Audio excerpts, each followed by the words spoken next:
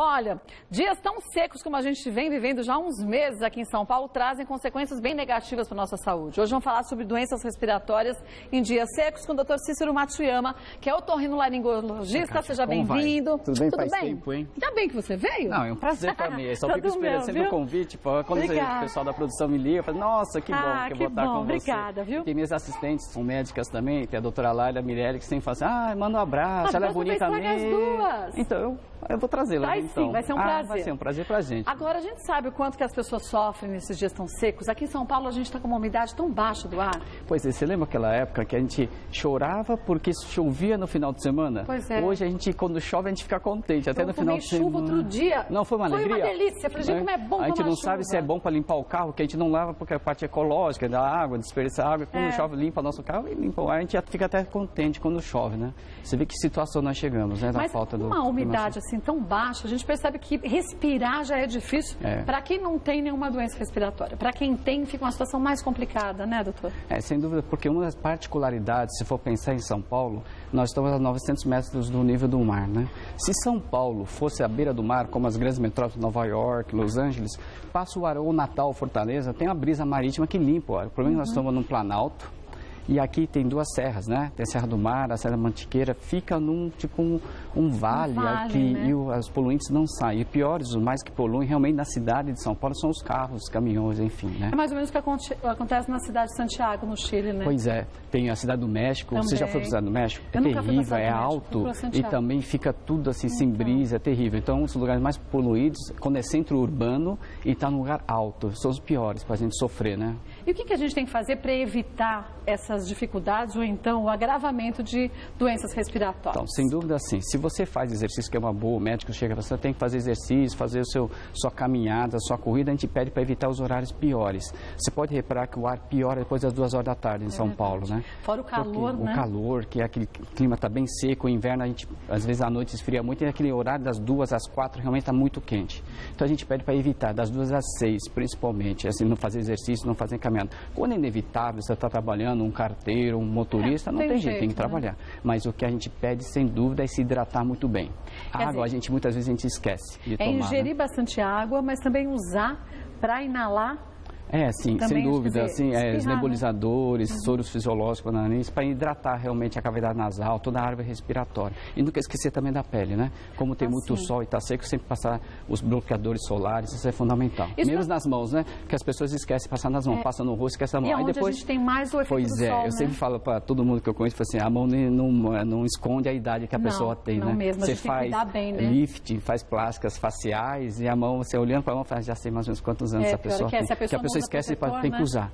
Sem dúvida, que aquelas manchas senis, que é o nome feio, né? Essas manchas É, senis mas acaba manchando bem. E quanto mais clara a pessoa, parece que mais manchas ela vai Por ter isso na que os moreninhos têm a vantagem disso. Você vê É. o Pelé, desde que eu me conheço, por ele tem a mesma cara. Milton, Não muda, é verdade. Milton Milton Nascimento também, é, né? são todos, é. Mas quem já tem as famosas ites, sinusite, rinite, o que, que tem que fazer para evitar o agravamento dessas doenças? A hidratação é fundamental, tanto se, tanto você tomar e como a limpeza nasal. Porque os, Hum. você escova os dentes todos os dias, mas o nariz fica esquecido.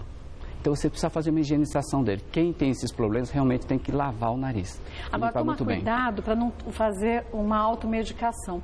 Você fala, eu já tenho sinusite, o otorrino já me deu aquele remedinho que eu tenho que espirrar no nariz. Então, o problema é que esses remédios, entre aspas, até viciam a pessoa, Uhum. que são é, vendidos livremente nas farmácias, que acho que algum dia eles vão ser proibidos. O que são os vasos constritores, que você pinga, Respira Mas, melhor. Para que, que eu vou né? colocar no médico? Já fiquei bom. Esses remédios ainda são vendidos livremente, que é um perigo, que a pessoa usa uma vez, depois fica, ah, que bom. Aí fica à vontade, top de novo, o nariz. aí usa pela segunda vez. Aí usa a terceira, a quarta, aí tem um no carro, no bolso, no criado mudo e assim vai.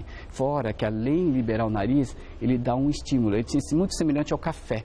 Café, quando você toma, você fica meio. Não que você fica estimulado como as drogas, mas você se sente bem. Então, algumas pessoas são mais sensíveis usam esse remédio no nariz e se sentem bem. Aí então, além do respirar também? melhor, elas se sentem bem. Então, ficam, entre aspas, ficam viciadas, ficam dependentes da medicação. É muito comum isso. Eu acho que no futuro, a Anvisa vai proibir esses remédios vasoconstritores de livre. São receitas simples, né, que a pessoa uhum. pode fazer e comprar, mas não ficam retidas. Acho que no futuro devem ser retidos, como os antibióticos em geral. Mas quando a gente conhece algumas pessoas, eu, conheço algumas pessoas que preferem usar esses medicamentos é, então. do que usarem o soro fisiológico. Se a gente passa de manhã, na hora do almoço, à tarde, antes de dormir, você percebe que as suas vias respiratórias. Não, você se respira não melhor. Né? Não, você respira melhor. Secreção. E muitas vezes se assou o nariz, em São Paulo, por exemplo, sai cinza a secreção de mesmo. tanta. A gente? Respirando, né? a gente sente o ar seco como se tivesse incomoda, um pó mesmo, irrita incomoda. o nariz, incomoda, chega até a sangrar devido à irritação intensa, o processo inflamatório. É, né? é bom hidratar. Temos Sem uns dúvida. mitos vamos e lá. verdades, vamos ver? Vamos nessa. Vamos ver o primeiro deles qual é? As infecções das vias aéreas aumentam no inverno. Mito ou verdade, doutor? Isso é verdade. Essa é verdade, é verdade né? porque, essa é verdade porque assim, as pessoas ficam em lugares mais fechados por causa do frio fechando as janelas, então o contato pessoal é muito maior. E principalmente as doenças respiratórias virais são, é, são transmitidas através de gotículas. A pessoa tosse, por exemplo, num lugar fechado, o aquelas micro gotículas. Ah, então já foi, né? Pronto, é. E sem querer você acaba tocando e a pessoa, a gente não tem muito hábito o erro da gente é não higienizar as mãos antes de a gente se alimentar. A gente fala quando criança, mas sem querer você está no estúdio aqui para comer o vai, lanche, é. cumprimentou, pá, vai lá Pronto. e sem querer põe a mão no nariz, pô, já contaminou, né? Ou nos olhos, né? Que a nos mulher olhos. tem mania de ficar passando a mão nos olhos Pois inteiro, é, né? porque é por causa da maquiagem que vocês é, passam. Mas sem maquiagem um pouco, também né? não dá, né? É, também não dá, é verdade. Agora, a gente está no inverno que não tem cara de inverno. Pois e é, um veranico, mas a gente sempre tem um veranico. Tanto que a primavera em São Paulo é mais quente que o verão. Pode ver, novembro, é, outubro é bem mais quente. E o problema é que é secura, né? A secura é terrível. É, mas é engraçado que a gente tem assim, não, não nesses últimos dias, mas dias muito quentes, à noite muito frio. E dizem que essa mudança tão brusca de temperatura num dia só também faz com que o corpo da gente reaja de uma forma negativa, que ele está acostumado a respirar um ar quente. De repente entra aquele ar frio, o corpo reage. E... Porque assim, onde é que está a temperatura do seu corpo? Está no sangue. E hum. para aquecer esse ar, ele, o corpo usa no metabolismo o seu sangue. Então ele congestiona mais suas vias para que haja um aquecimento maior. Hum. Por, isso que, isso que você toma um gelado, um sorvete, muitas vezes a pessoa que, é mais sensível né? tapa tudo. Então a gente fala, tá com sinusite e tal, tá com processo inflamatório nasal nessas regiões, a gente não lava o cabelo à noite, não deixa transpirar, seca o cabelo. A mãe fala para a filha, ah, o filho adolescente, seca o cabelo, que é mas brincadeira de mãe, que é besteira. Né? E é sério. E as dores faciais pioram no frio porque é um nervo trigêmico, é um nervo paracraniano, então ele é mais sensível a temperaturas frias, igual do dente. Igual dos dentes. Então, né? quando o dente está ruim, quando você toma um sorvete, dói, não dói? Dói. Fala, Aqui. Dói, então, coisa, mesma coisa. Esfria o corpo e as dores são muito mais evidentes, muito mais sentidas, vamos dizer assim. Tá? Temos mais um mito e verdade, vamos ver? Vamos nessa. Dores na face, garganta seca são sintomas de ar muito seco. Assim, pela própria irritação, né? Uma o verdade, ar fica muito né? seco, os, os, aqueles é, pós que ficam em suspensão no ar se irritam mais, né? Por isso que a hidratação é fundamental, né?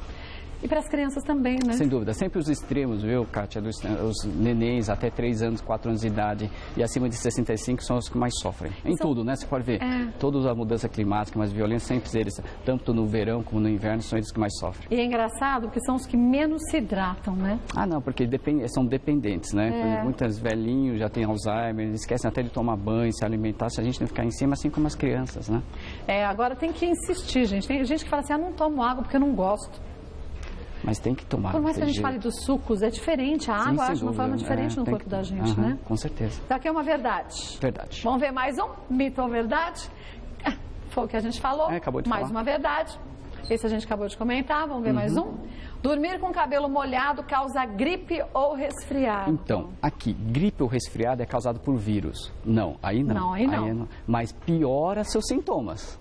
Depois que é obedecer a mãe direitinho, cuidar com relação ao cabelo, secar muito bem. Você sabe que o couro cabeludo demora 24 horas para secar, né? Então, se a gente dorme com ele molhado, demora Já muito viu, mais, demora. né? Então, resfria o corpo, as, os sintomas seus de dor de cabeça devido ao processo de sinusite e tal, são mais exacerbados. Tá. Então, não pode dormir com o cabelo molhado, não porque vai dar gripe ou resfriado, mas se não, você já não. tem asites, vai piorar. É, vai piorar, né? perfeito. Não tem jeito. Uhum. Vamos ver mais um mito ou verdade? Posso ficar resfriado ao tomar friagem? Isso depende do resfriado. Se fosse que congestão nasal, coriza, tosse até sim. pode, sim. Mas resfriado, isso é um vírus especial que você pega o contato pessoal das pessoas. É né? que a gente generaliza. Tampou é. o nariz e fala que é resfriado. resfriado é. Aí, às vezes a pessoa tem rinite alérgica, fala, então. toda hora eu estou com resfriado, mas não, você está com processo alérgico, que é muito, muito parecido. O que diferencia a gente no dia a dia do médico é o estado geral, viu? Tá, esfriado como é vírus, dá febre, dor de garganta, tal. Agora aquela coriza, espirros, tal, na verdade é um processo alérgico. Tá? E quando a gente está num ar tão seco como a gente está vivendo aqui em São Paulo, nas grandes capitais também, tem uma quantidade maior de ácaros, de poluentes, Sim, é. de pó, literalmente. Então é mais fácil de ter essa Com irritação, certeza. né? Uhum. Então, aqui é um mito. E deixa eu aproveitar e lembrar, gente, ó, que isso aqui, ó, se eu tomar a vacina, vou ficar gripado. Pois é. Isso aqui Esse é um dilema né, um tem tempo a- atrás, as, né? a- As pessoas mais idosas chegam no consultório da gente e falam assim, doutor, não vou tomar vacina. Ah, vou ficar com pneumonia. O grande problema, assim, a vacina que a gente toma, que a rede pública fornece, é, é através de três cepas que nós temos inativadas. O problema é que a vírus da gripe ou resfriado tem trocentos, mais de Tem 200. muitos, né? E a gente vacina exatamente para os casos graves, para você não morrer, Kátia. Por isso que as mulheres grávidas são vacinadas, crianças e os idosos, que as cepas que estão lá, que causam morte. Você vai para UTI, você fica com insuficiência São casos respiratória. severos de gripe, severos. né? Então, mesmo a tuberculose, quando você toma quando o neném, evita você as formas graves da tuberculose. Por isso que a gente hoje, no Brasil, trata a tuberculose e fala, eu tomei vacina, por que eu tive tuberculose? Mas Porque te protege. branda, né? Exatamente, que com remédio sara. Mesma Aqui, mesma gripe, coisa. né? A vacina está aí para te proteger, para não te levar para UTI e não te levar a óbito. Para isso que você toma a vacina. Por isso que é para tomar, é, tomar- é que você tem outros vírus que causam isso. Quer dizer, Mas os- aquela gripe eu não pego mais, daquele jeito, mas os é, outros... podem pegar. Aí sim, não tem sim, jeito, sem né? dúvida. Por isso que é para tomar a vacina mesmo. Tem mesmo, né?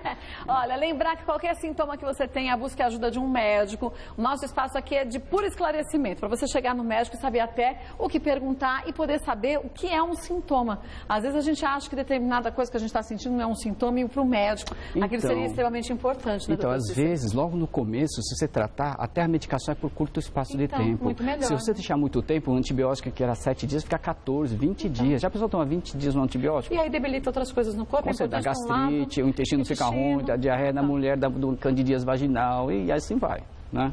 Então, realmente, se for precocemente, o médico trata tal e tudo. Quanto antes a gente recebe o diagnóstico, dúvida. melhor, né? Melhor. Deixamos uma enquete no nosso site, ó. Vamos pedir para os meninos colocarem o resultado dela aqui, ó. Você teve algum problema respiratório no último mês? 66% das pessoas disseram que sim e 34% não. Agora, desses 34%, alguns podem nem saber que aquilo que eles sentem, mesmo quebrando, é um sistema de problema respiratório, né, Com certeza. Deixa eu deixar os contatos aqui do Dr. Cícero, Matsuyama, que é otorrinolaringologista. O site é o www.semahospital.com.br. Claro que ele volta mais vezes e a gente aborda outros temas sobre saúde. É a única coisa que falta aqui para você? Kátia, é que quando eu termino a entrevista, todo mundo ah, aqui não tem, né? A gente não sabe, né? a gente não sabe se está Não agradando, né? Não, tá agradando sim, pode ficar É, tranquilo. muito obrigado. Obrigada, É um prazer pra agradeço. mim, Todo viu? meu, Tudo viu? Obrigada mesmo. Olha, deixa eu lembrar o site www.semahospital.com.br.